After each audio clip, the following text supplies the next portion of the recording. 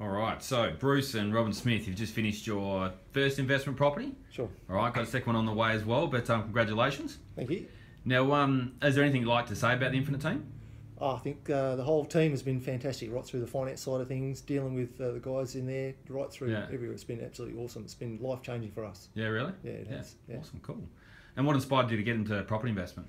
Oh, just chasing the tail around, uh, just having a huge mortgage, and Yeah. just every year, just one at the end of the year, just not Yeah. making any headway. Yeah. And uh, the age that I am, I think getting having too many birthdays. I think you know, I've got to start looking at doing something because it's just just yeah, it's just crazy doing what we're doing. Yeah. So looking at doing something to get in, and when. I saw and heard Tim. I thought you know this guy for what he's achieved in such a short period of time, why wouldn't you take advice from someone like that? Yeah, So yeah, perfect.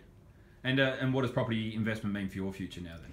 Certainly seeing light at the end of the tunnel, Mm. knowing that uh, it's going to set us up a better future Mm. and for our kids as well. Mm-hmm. And uh, my young son is as keen as anything to try and get his first property um, underway. Yeah. He come along to one of Tim's uh, talks at Yeah. Burswood one evening, and um, Yeah. he was up taking notes, taking photos off the whiteboard. It was amazing. Yeah. So he's as keen as Yeah, awesome. And he's only like 17, yeah? 17. Yeah, 17. Amazing. So, Yeah, it's had an impact on him. Yeah, I bet he'll be done by 30. yeah You'll be able to hang out with him every time. yeah, look after us. Yeah. And why did you choose Infinite Wealth?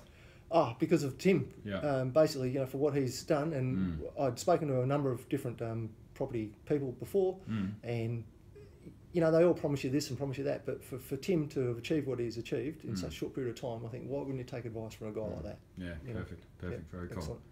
And what did you like uh, best about dealing with the Infinite team?